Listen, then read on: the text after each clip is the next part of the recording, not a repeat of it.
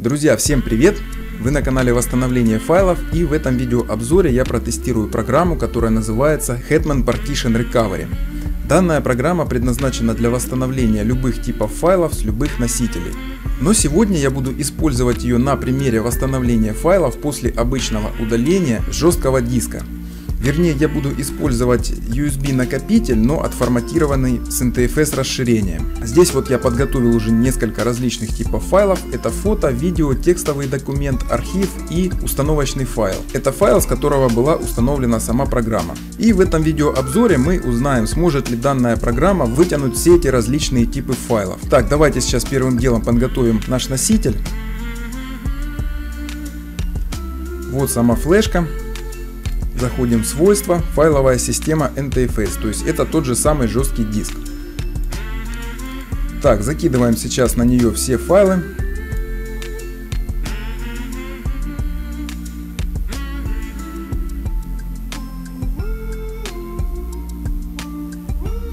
Вот таким вот образом. И теперь их просто удаляем.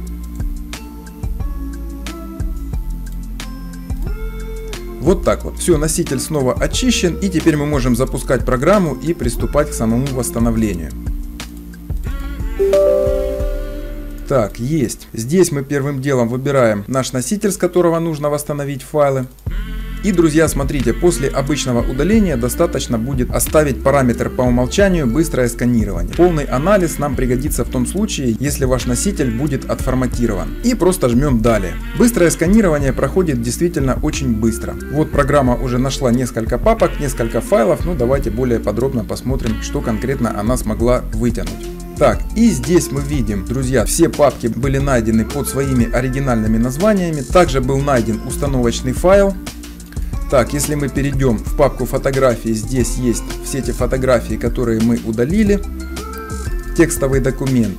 Так, здесь также есть текстовый файл, архив и видео здесь также есть два видеофайла, тоже найденные под своим оригинальным названием, что очень немаловажно. Это действительно во многих случаях экономит массу времени. То есть, когда файлов у вас, допустим, немного, то это не проблема. Но если у вас там 1000 фотографий, 200 видеофайлов, там несколько сотен текстовых документов, то сами понимаете, если они будут восстановлены не под своими названиями и не в тех папках, с которыми они были удалены, то вам повторно придется сортировать все ваши данные. Так, ну и теперь, друзья, остался остался последний шаг, это именно перенести все найденные файлы на нужный нам носитель. Для этого нажимаем восстановить, здесь я выбираю параметр сохранить на жесткий диск, жмем далее, путь я оставляю по умолчанию. Здесь также рекомендую оставить галочку на восстанавливать структуру папок, для того чтобы файлы были восстановлены вместе с папками. И жмем кнопку восстановить. А, да, я программу еще не активировал, поэтому для того чтобы продолжить процесс нужно провести активацию. Для этого мы вводим имя пользователя,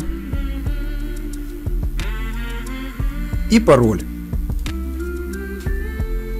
И да, друзья, что я, кстати, хочу сказать по этому поводу, что перед тем, как приобрести программу, то есть вы не покупаете кота в мешке, вы действительно видите, за что вы платите. То есть вы вначале просканировали свой носитель, убедились в том, что программа действительно нашла всю вашу необходимую информацию, и только после этого вы можете приобрести программу. И нажимаем «Регистрация». Все, активация у нас прошла успешно. Нажимаем ОК и процесс восстановления запущен.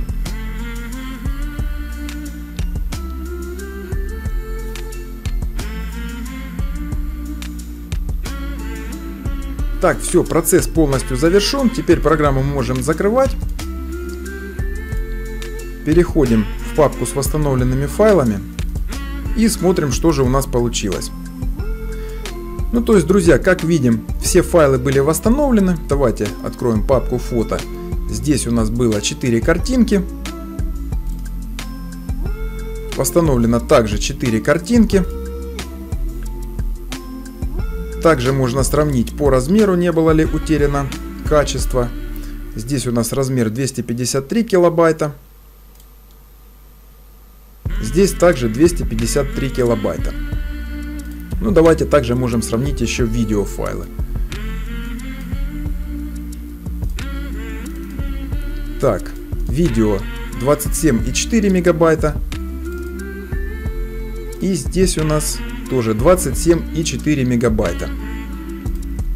Так, с текстовым документом и архивом также все в порядке. Ну что, друзья, программа оставила после себя только положительные эмоции. Я считаю, что она справилась на все 100 баллов. То есть все те критерии, которые для меня важны, программа выполнила. Она восстановила все мои утерянные файлы, восстановила их в тех папках, с которыми они были удалены, под своим оригинальным названием и без потери качества. Но это все, что касается обычного удаления. Также данную программу можно будет протестировать и на восстановление файлов после форматирования, но это уже в следующих моих видеообзорах. Поэтому, чтобы не упустить все самое интересное, обязательно подпишитесь на канал. Также, друзья, если данный видеообзор вам помог, то мне очень приятно будет получить от вас лайк. У меня на этом все. Всем пока!